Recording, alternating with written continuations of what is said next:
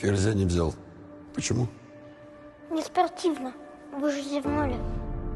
Дружочек, чемпионы ошибок не прощают.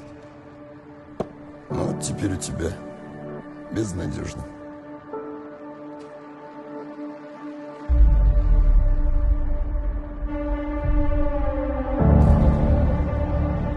Как вы думаете, от чего Корчной так заиграл? Не вижу принципиальных изменений в его игре. По-моему, это старый добрый Виктор Львович.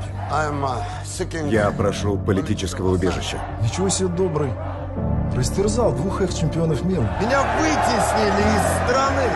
Вы что хотите, чтобы это бесследно прошло? Играем на Филиппинах, в Багио. Это же черт знает где.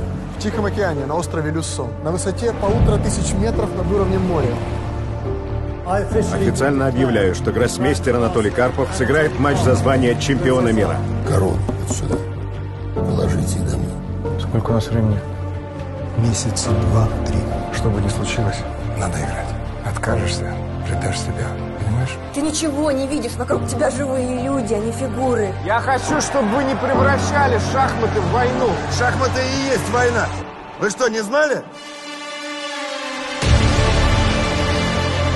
Должны пробивать его конек.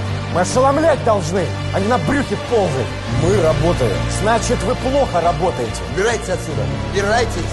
Иначе я с вами по-другому расправлюсь. Вы не имеете права воздействовать на психику вашего противника. Хватит. Я вас очень прошу, заканчивайте этот цирк. Человек такой, Карл. Я гроссмейстер, Ника. Я чемпион мира. Я не могу отвлекаться. Пойми меня, пожалуйста, и прости!